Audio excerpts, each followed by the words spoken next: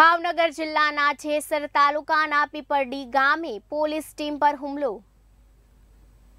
ભાવનગર જિલ્લાના જેસર તાલુકાના પીપરડી ગામે પોલીસ ટીમ પર હુમલો.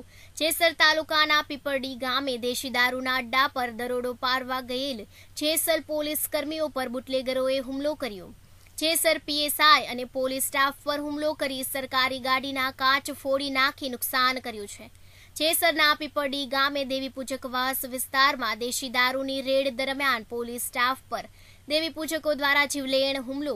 પીપડી ગામે જિલ્લાભરનો પાલીતાણા, ગારિયાધર, ઉમરાળા, શિહોર સહિતનો પોલીસ કાફલો ખડકી દેવામાં આવ્યો.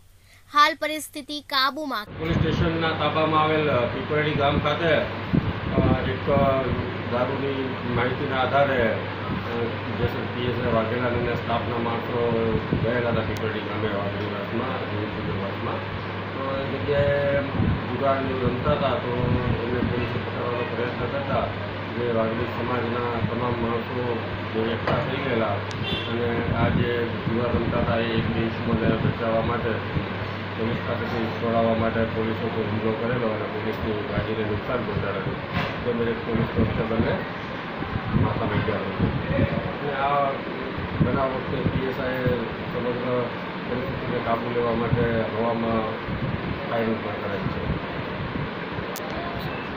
કેટીવી ન્યૂઝ ગુજરાતી સાથે નિલેશ ઢીલા, ભાવનગર.